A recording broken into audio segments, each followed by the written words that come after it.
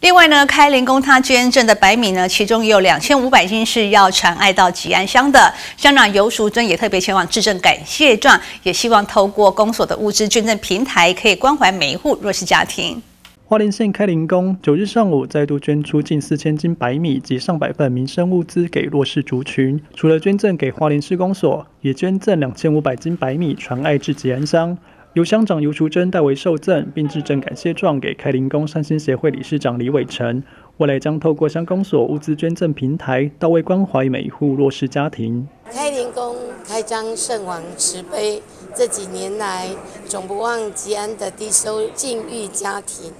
尤其给吉安满满的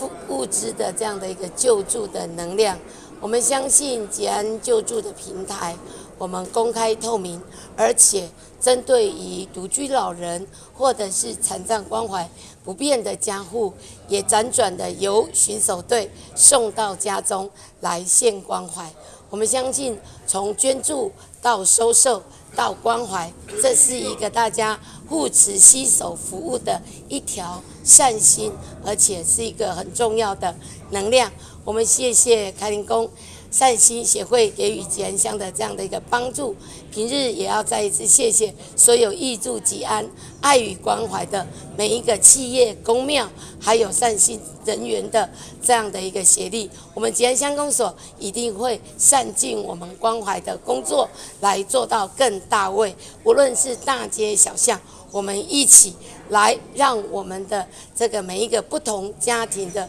状况，能够得到最好的一个协力。工作。开林工几年来不忘吉安乡的低收境遇家庭，乡公所会善尽规划物资捐赠平台，同时携手村里、学校、医疗单位、里乡乡亲，让吉安乡公所开启的救助机制投入必须性的社福资源，随时掌握需求个案，让特殊境遇家庭获得及时雨的滋润，也到位传递社会大爱。记者张邦彦华联时报道。